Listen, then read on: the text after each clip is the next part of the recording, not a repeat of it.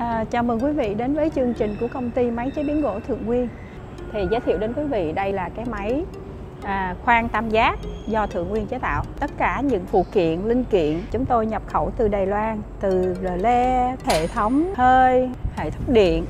Chúng tôi thiết lập và chúng tôi sử dụng cái BOC là Mitsubishi của Nhật và những cái khởi động từ là của Teco.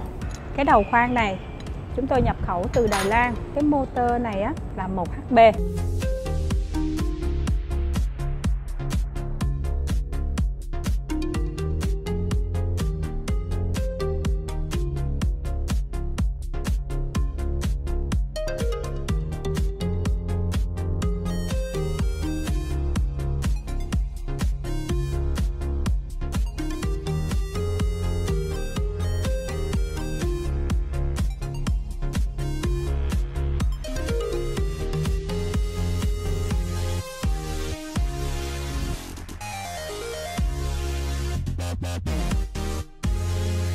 À, và cảm ơn quý vị đã theo dõi chương trình của công ty máy chế biến gỗ Thượng Nguyên và hẹn gặp lại quý vị video sau.